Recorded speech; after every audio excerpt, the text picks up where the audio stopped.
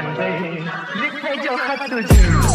है पिस्टन है पिस्टन है हाईवे पे 200 गरम ये इंजन है धुए में हाइड्रो पर सिस्टम है अपने में बातें